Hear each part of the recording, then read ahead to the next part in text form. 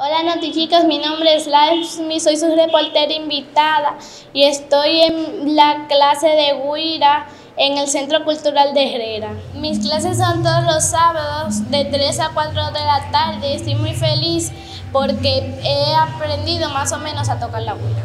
La guira es un instrumento de percusión menor que se toca con un gacho al compás de la tambora. Lo primero que aprendí a tocar fue el caballito. El maestro lo hacía con el tambor y yo lo hacía con la guira.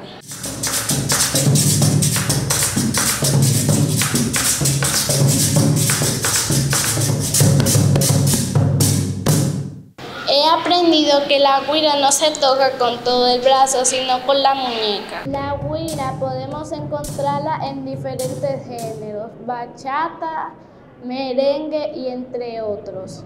La guira es parte del folclore dominicano y al momento de tocarla se debe de agarrar por el mango. Para tocar la guira el movimiento de muñeca se hace de arriba hacia abajo. Mi papá me inscribió en esta clase para tocar la guira, para aprender a tocar instrumentos y hacerme famoso en YouTube. Mis clases son muy divertidas porque el maestro nos enseña a tocar la guira junto con el tambor. Les aconsejo a los niños que aprendan a tocar un instrumento porque la música es muy divertida.